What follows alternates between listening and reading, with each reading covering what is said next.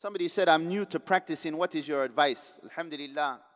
Thank Allah Azza wa for guiding you. Whether you're a new Muslim guiding you to Islam, or whether you're a Muslim, Alhamdulillah, for guiding you to istiqamah, to trying to be upright upon the Kitab and the Sunnah. Praise Allah Azza wa and thank Allah subhanahu wa ta'ala for that blessing. وَمَا بِكُم مِّن نِعْمَةٍ فَمِنَ اللَّهِ Every blessing that you receive is from Allah. And the greatest blessing is that Allah subhanahu wa ta'ala guided us to Islam and the Sunnah. Alhamdulillah hadana li hadha. All praise belongs to Allah that He guided us to this. And if it was not for Allah, we would never be guided. If it wasn't for Allah, we would never be guided. We would never give charity, we would have never have prayed. So start by thanking Allah Azza wa Jal and being grateful to Him Subhanahu. And part of gratitude is what? Gratitude with your tongue, gratitude with your heart and your limbs. Utilize your limbs for that which is pleasing to Allah subhanahu wa ta'ala. And one of those things which is most pleasing to Allah Azza wa Jal, which is better than some of the nawafil al ibadat, the supererogatory acts of worship, is seeking knowledge. Seek knowledge. Learn the religion for yourself. Learn the religion for yourself.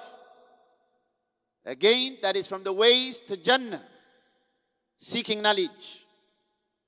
That Alhamdulillah, you hear an ayah, a verse, you hear someone explain it, you can go to the books of tafsir and you can benefit from Ibn Kathir.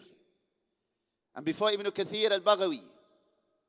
And before Al Baghawi, Al Tabari, which is Ummaha, which is Yani Umm Tafasir. The ulama they say Al Tabari is the mother of the books of tafsir.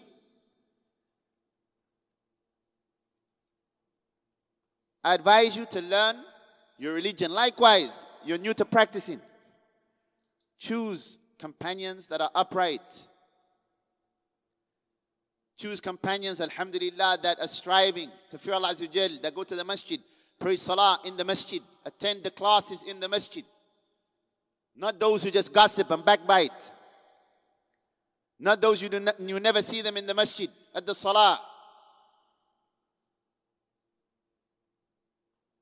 Not those who are heedless and negligent of the commands of Allah Azza wa Jal.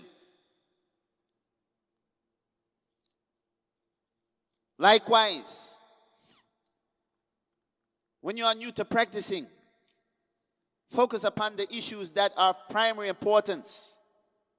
When the Prophet ﷺ he sent Mu'adh to Yemen, what did he say? إِنَّكَ تَقْتَمْ Verily you are going to a, a group from the people of the book. فَلْيَكُنْ أَوَّلَ مَا تَدْعُمْ إِلَيْهِ أَنْ يُوَحِّدُ اللَّهَ عَزَّ وَجَلَّ Let the first thing you call them to be to single out Allah Azza wa with a tawheed.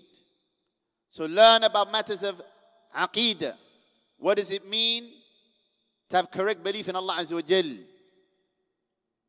Likewise, correct belief in the books, his books, and likewise the angels and his messengers and the last day and the divine decree. Learn about the pillars of Islam. Again, the foundation is the Shahada. Learn how to pray properly. Again, the Prophet ﷺ, he said, Sallu kama ra'aytumuni usalli. Pray as you have seen me pray. He never said pray and blind follow someone and just listen to them. He said pray as you see me pray. So we learn how to pray in accordance to the sunnah of the Prophet wasallam. Likewise, before that, al-wudu. لا يقبل الله صلاة أحدكم إذا أحدث حتى يتوضأ.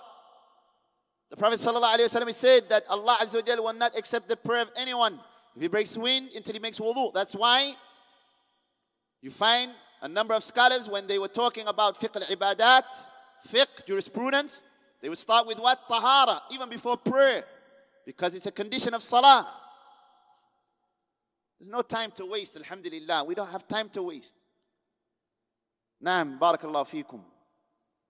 And likewise, make dua to Allah Azza wa that Allah grants you firmness, firmness upon the truth. never be amazed by our own selves, regardless of how much knowledge that we have. From the supplications that the Prophet ﷺ would make most.